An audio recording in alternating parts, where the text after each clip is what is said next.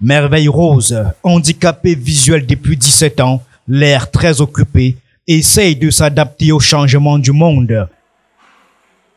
Dans ses mains habiles se trouve un savoir-faire incroyable qui est l'image de marque des produits artisanaux camerounais. Actuellement, je suis en train de faire un sous-plat.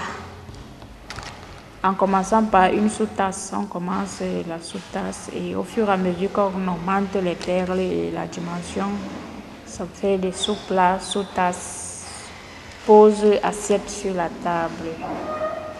Et c'est un peu ça. Il y a aussi les babouches, les bijoux, tout ça avec les perles.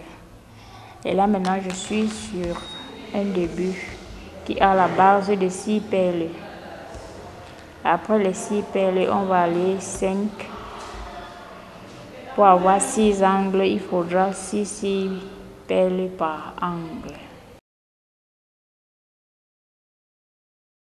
Méthodique et persévérante, et malgré son handicap, la jeune femme nous surprend par des modèles de haute qualité qui sont le fruit d'un travail avec passion et rigueur et du choix de matières premières soigneux pour construire une paire de babouches qui a moyennement besoin d'au moins 10 heures de travail pour sa fabrication.